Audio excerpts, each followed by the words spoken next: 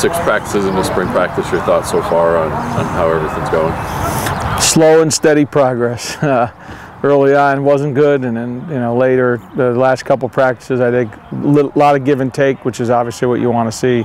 You don't want any side of the ball dominating at this point. So there's been a lot of give and take the last few practices, and offense making some plays, defense making some stops, but really doing a great job focusing on our special teams and getting better out there at all phases. You notice guys that have been with you now for the year and, and moving a little bit quicker, catching on to things a little bit quicker? Definitely. I mean, I, obviously the system, especially defensively, uh, is exactly the same. We haven't changed anything. So guys are really picking it up quicker, making those little adjustments that we didn't make till game seven or eight last year, and we're making them now at spring practice. Most importantly, stay healthy. You know, we want to stay healthy and you know, it, we, we need to get tougher. You know, we need to get mentally tougher, learn different situations, and get a lot tougher on the field and overcoming those adversity things that happen throughout the course of a game.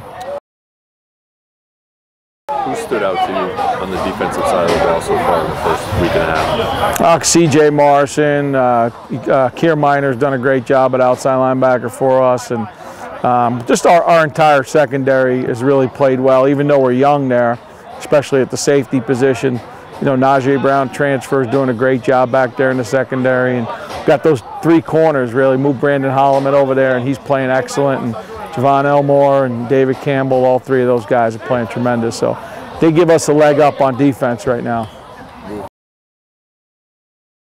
Offensively, obviously, uh, Taz Paldo's done a great job with us as far as leadership role, taking over. Uh, and you'll talk to one of the guys, Tyler Hurd, right now. Tyler's done a great job of just being the, the, the picture of consistency for us. What have you seen from Taz? You know, he played a couple games, he was showing a little bit of promise there, and then he got hurt. What have you seen from him so far this spring? Uh, I mean, he's got a long way to go to be, you know, a really good quarterback, but he's got really good intelligence. He understands offensively what we're doing. He's got a great arm and certainly good enough arm to, to make people pay if they make mistakes. And he just he's a good operator of the offense. He's just right now making a lot of mistakes that are, you know, things that'll get corrected as we get on in spring.